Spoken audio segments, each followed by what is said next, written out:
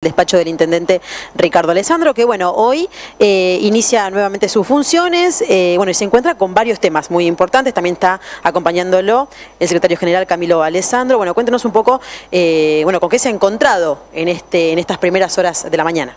Bueno, primero la alegría de encontrarme nuevamente en mi ciudad, en mi pueblo, ¿no?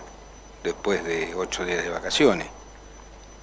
Segundo, agradecerle a a Camilo, que también se ha desenvuelto en la cantidad de problemas, sobre todo problemas delincuenciales y problemas serios que hubo, que gracias a Dios en algunos de los casos hemos llegado a feliz término y realmente hacen a la preocupación de nuestro pueblo y a lo que estamos abocados.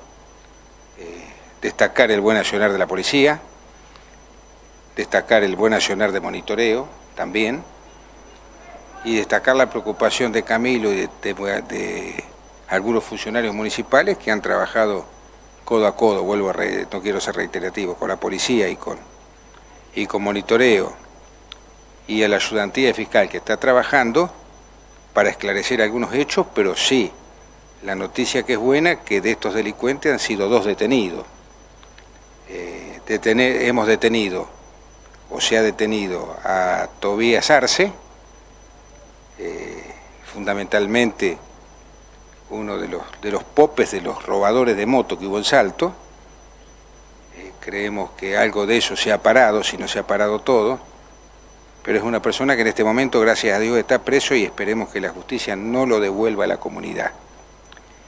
Y en el día de ayer se detuvo, las cámaras de, de monitoreo han actuado y se detuvo en cinco robos que hubo anoche, los cinco robos, cinco paraderos que hubo, se detuvo a, ¿cómo se llama este muchacho? A, Jerónimo López, a Jerónimo López. Es de 22 años, ya tiene como frondosos antecedentes, tuvo actuación en el robo de Jorge Di Marco y Olga Malandra, estuvo en lo Belestante, estuvo en los Fanusi, estuvo en lo Clavijo y estuvo en lo Asaguri. Ha hecho un raid delictivo bastante importante en el día de ayer a la noche. En algunos lados robó y en otros lados no robó. Lo que nos lleva a una preocupación, está detenido en este momento en la policía local, nos lleva a una, a una preocupación tremenda porque esta persona tiene que estar... Eh, yo estuve en la comisaría esta mañana con Camilo, estuvimos y, y estaba él en una situación de en una situación realmente muy mala, esa persona tiene que estar presa y no volver a la comunidad. Son muchos los robos que ha hecho y realmente mucho nos preocupa. Y también hay una persona que nosotros lo tenemos denunciado, lo quiero decir a la comunidad, que está robando, tiene, no sé, pero debe tener cuatro o cinco robos, la ayudantía fiscal ha hecho todo lo posible y lo ha denunciado a la, a la Fiscalía en Mercedes, que es Mariano Minino. Mariano Minino es un delincuente que en este momento anda suelto por las calles de Salto y que nosotros de una u otra manera tenemos que detenerlo y meterlo preso. A Mariano Minino cuando le caigamos encima o le caiga la policía encima, tiene que quedar detenido también porque está haciendo una cantidad de robos que son importantes. ¿Está prófugo por el momento? No, prófugo no está, está dando vuelta, dando vuelta, hace una inteligencia en un, en un en una manzana y después roba. Hay cosas que se han recuperado. Están todos filmados esto, ¿eh? Acá no hay, no hay suposiciones. Mariano Mirino está, está filmado cuando roba un televisor de una empleada municipal. El televisor, eh, saca el televisor de lo más cómodo y roba una mesa. Una mesa de, tengo los nombres, no quiero decir los nombres de las personas involucradas, pero eh, Mariano Mirino está filmado y está, estamos preocupados por su no detención. Esperemos que, que, hagan la detención necesaria. Y también mucha preocupación por algunos de los hechos que pasan en el hospital que, en defensa de nuestros, de nuestros médicos y de nuestra enfermera, en el cual una mujer le pega a una médica, o maltrata a una, le pega a una médica, y le pega a una enfermera, y nosotros hicimos todo lo necesario, Camilo actuó eh, con rapidez para que esta persona esté presa. No puede entrar y pegarle porque falleció un familiar. Eh, realmente nos preocupa mucho la, actuación de esta persona y nos preocupa mucho la violencia de género en, este, en este caso al revés, al revés, ¿no? Porque le pegan a dos mujeres, una mujer le pega. Así que estos son los hechos más importantes y los hechos que estamos tratando de esclarecer, pero lo de anoche fue un raid delictivo que nunca lo habíamos tenido en Salto. Y de acuerdo a este raid delictivo, se han detenido ya, se ha detenido una persona y hay tres prófugos, ¿eh? Hay tres prófugos que están identificados, están por las cámaras identificados, lo cual la policía en este momento eh, tiene, tienen orden de captura para buscarlos, porque están eh, muy bien identificados. Caso con este, con esta persona, con esta persona que, con este Jerónimo López.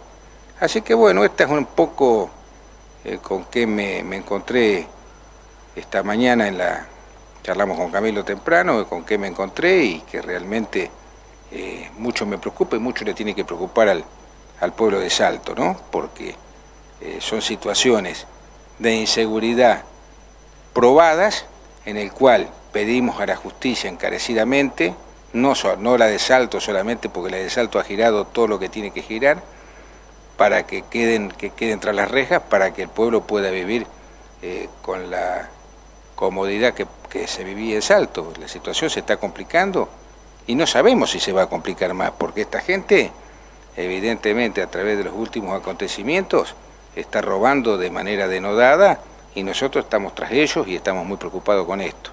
Y después comunicarles que en el día de hoy, como última noticia, hemos aceptado la renuncia del secretario de Seguridad.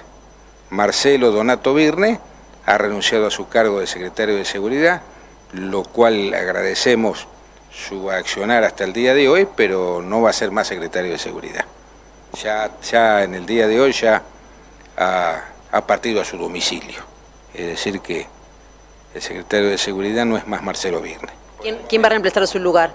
¿Hay un nombre? Lo estamos analizando interinamente, interinamente el intendente tiene la responsabilidad de, asumir como secretario de seguridad. ¿eh? Ricardo, las personas que usted hacía mención hace instantes, nada más con los hechos delictivos, ¿serían de nuestra ciudad? Sí, por supuesto. Son dos, dos hasta ahora. Hay tres que, estamos, que, que se los está buscando y que tiene que quedar detenido. Y hay alguno más que está dando vuelta, este menino está dando vuelta y tiene que quedar preso. Es el, que, el más vicioso y el que más antecedentes tiene. Es un delincuente de, es un delincuente común que tiene que quedar preso también. Me agregar algo, cura, que hay, hay un hecho más que me parece trascendente de ayer a la noche, para sumar a lo que, a lo que dice el cura. Todas las personas que nombró el cura y alguna la nombró para no entorpecer la causa están filmados, algunos de ellos están filmados en la calle, están filmados en comercios, están filmados llevándose un televisor. Los de anoche que está este chico, Jerónimo López, con antecedentes de 22 años, espero que la justicia esté la altura de las circunstancias y se come unos cuantos meses en cana, que es lo que debería pasar, porque no sirve que en dos o tres horas esté robando de vuelta. Y hay otras tres personas que obviamente el intendente por prudencia no las nombró, que están identificadas, estaban con él, y bueno, tendrá que la, policía y la justicia tomar cartas en el asunto, que ya lo está haciendo. Pero hay un hecho de anoche, que lo voy a sumar a lo del hospital, a un inspector también municipal. Em, se le está poniendo muy difícil en determinadas áreas de la municipalidad como fue lo del hospital, que se mordió una empleada, se le pegó una trompada a una, a una enfermera, yo las acompañé a la denuncia, a otra doctora también, renunció otro, un traumatólogo por las mismas razones, porque la gente se pone muy violenta, y ayer a la noche, en los numerosos operativos de tránsito que implementamos, que vemos que están sido efectivos porque hay menos ruido, lo que no significa que no haya, necesitamos colaboración de la gente, en estos operativos el inspector Rodríguez lo llevaron, llevaron por delante, lo quiso parar a un motociclista y el motociclista lo encara, él no llega a correrse y bueno, tiene rotura de clavícula. Ustedes imagínense con qué, mm, con qué herramientas uno cuenta, porque ¿quién va a querer ser médico y trabajar en el hospital, ser enfermero o ser inspector de tránsito con semejante nivel de violencia? Digo, un poco de colaboración de la comunidad. Se ven los resultados a la vista, hay dos personas presos, ha bajado el robo de motos desde que este chico, que es Páez el apellido, Tobías Páez. Tobías Páez, no Tobías. No es Tobías Arce, es Tobías Páez. está este chico preso Jerónimo López, hay tres más identificados, cuatro más identificados, esperando a ser detenidos. Digo, se ha todo con celeridad. Si la justicia está a la altura de las circunstancias, vamos a poder paliar una situación de crisis muy grande y de aumento de robos y de delincuencia en todo el país y en toda la provincia de Buenos Aires. Nosotros queremos seguir siendo un pueblo tranquilo. Que colaboren. De todas maneras, en la, en la semana entrante hemos pedido audiencia, en los días que me tenga que quedar en La Plata, me voy a quedar para nombrar el nuevo jefe comunal porque el comisario Verdón se va a ir de Salto para nombrar el nuevo jefe comunal conjuntamente con Faragonio. No, perdón, uno va a ser jefe distrital y otro jefe comunal. Eh, no sé cuál de los dos, creo que distrital, distrital o un cargo parecido, pero son dos los, los que van a estar, Faragonio y el nuevo jefe, el nuevo jefe que vamos a nombrar. Y pedirle, que esto sí urge, urge, esta mañana ya tuve una, una charla bastante ríspida con, algún, con, una, con gente del Ministerio de Seguridad, pedirle más policía. Es imposible trabajar con la poca cantidad de policías que tenemos. Es imposible. Por lo menos los cinco que han venido para el operativo Sol, que tengan la voluntad de dejarlos. Y hay algunos de salto trabajando, creo que hay dos o tres de salto. Por lo menos de los de salto que me los deje, porque es imposible trabajar de otra manera.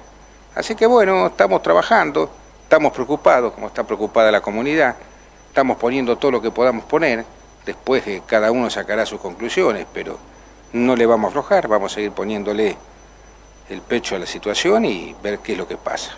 ¿eh?